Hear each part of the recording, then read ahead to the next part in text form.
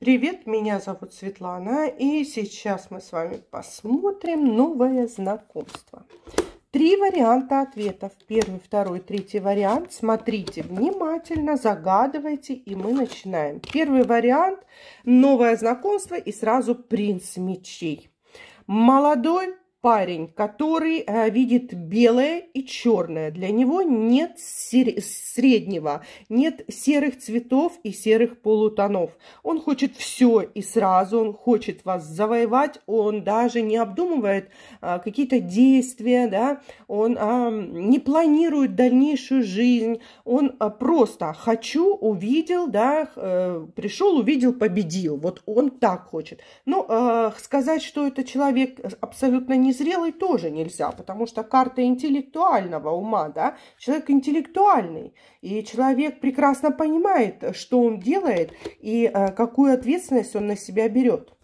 Второй вариант, а здесь э, карта смерти или карта трансформации. Могу вам сказать, что здесь э, новое знакомство э, предстоит вам с человеком необычным, да, человек, который постоянно меняет э, маски, человек, который трансформируется, может, это человек-кочевник, который постоянно переезжает с места на место, да, вот как цыганский табор. Ну, это смех смехом, это я пошутила, и все-таки. Человек медийная личность, он поживет сегодня здесь, завтра он поживет в другом месте, то есть вот а, либо нет постоянного места жилья, либо он вот любит быть таким, знаете, неуловимым, чтобы его невозможно было поймать. А, человек довольно-таки специфический. А, возможно, он э, либо будет намного лет старше вас, либо намного лет младше вас. Но еще раз скажу, что э, вот специфика этого человека, она кого-то может отпугнуть, а кого-то, может быть, наоборот, и притянуть вот этими своими тайнами и загадками.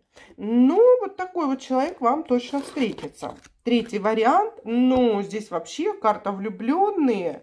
А, это именно тот самый которого вы ждали всю жизнь. Это ваша половинка, это ваша судьба.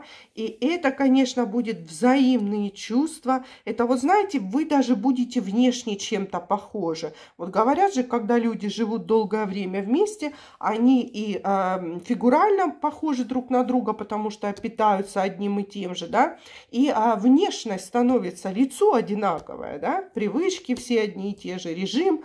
Вот здесь вы сразу увидите, что это ваш тип типаж, вот как будто бы вы а, брат и сестра, вот что-то очень-очень похожее на вас. Или на вашего, а, например, отца или на вашу мать, то есть вот какое-то такое будет сродство. Пальчик кверху, слово благодарю, пока-пока.